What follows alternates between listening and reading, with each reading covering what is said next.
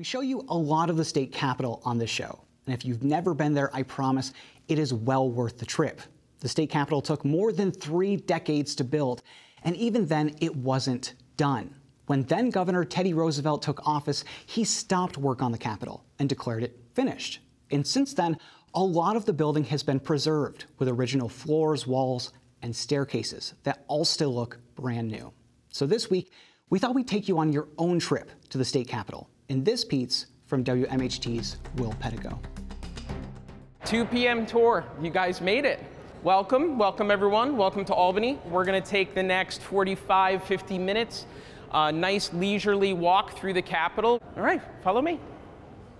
My name is Matt, and I have been a tour guide since August 27th, uh, 2012.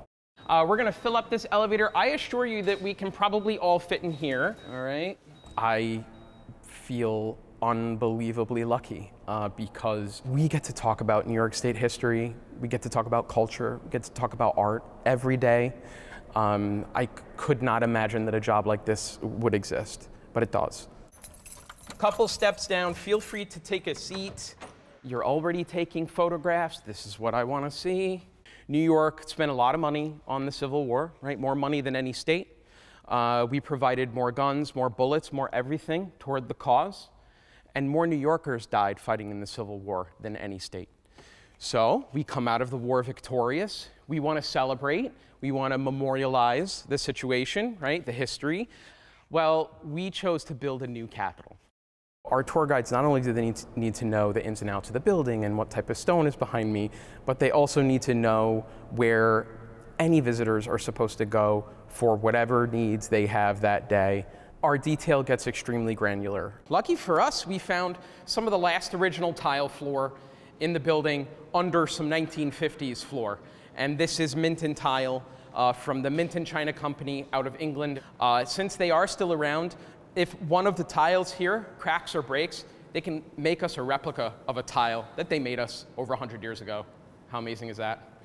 All right, follow me. We can thank uh, the OGS design and construction crew who uh, have done reports on the building. Uh, there are historic reports, architecture reports that tell us how many windows there are, how many columns, how many arches, each stone uh, each tile, what was really original, what was replica, what's not. And we need that information because we get those questions every day from visitors. Was this the first building to have electricity in Albany? This was one of the first government buildings in the country with electric lighting. The New York State Capitol is extremely complicated, right? Right off the bat, it has to do with the architects. You know, usually you have one architect, they come up with one single beautiful design, and they roll it out, and there's a completion date. Uh, but for our Capitol, it did not work out that way, right? We had five architects in total. We have about five to six different architectural styles within the building. Architects didn't agree with what the previous architect might have done. Uh, we talk about uh, Henry Hobson Richardson being the main architect for the Senate side of the building, but he never touched the Senate staircase. It was his architectural partner, Leopold Eidlitz, who did something completely different. I mean, it's really, it is so complicated, but if anything, it makes it really, um, really interesting and exciting, and I think that's really why visitors are drawn and I mean, uh, there was someone on the tour today that I know has taken our tour probably five or six times. All right, this is it. This is the New York State Assembly Chamber, right? We need both chambers in order to get those bills voted on, right? Majority vote yes, and to the governor's desk for a signature. I love New York State, and so my background uh, is in geography, and my specialty was New York State geography. Um, yeah, just an obsession of New York on the map, an obsession of everything within that map. Uh, landmarks, um, cities, towns, um, historic events, uh, you know, the majority of the American Revolution was fought on New York State soil. That's amazing. You know, like the, New York really is a special place as far as national history. This is what we call uh, the Great Western Staircase. This staircase took about 12 years to build. Every bit of the stone was imported from Scotland. It's a sandstone. It was ideal for carving.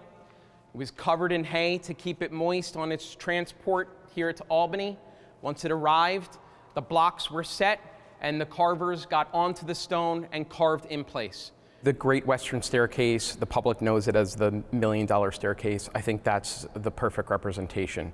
Um, it might be one type of architecture, but there are 77 famous faces, and many of them are, are New Yorkers, um, and they are all diverse backgrounds, right? You have women, you have fam- plenty of famous men, right? But you know, we have Frederick Douglass, we have Susan B. Anthony, we have these figures in history that um, just remind visitors of how important our American history is.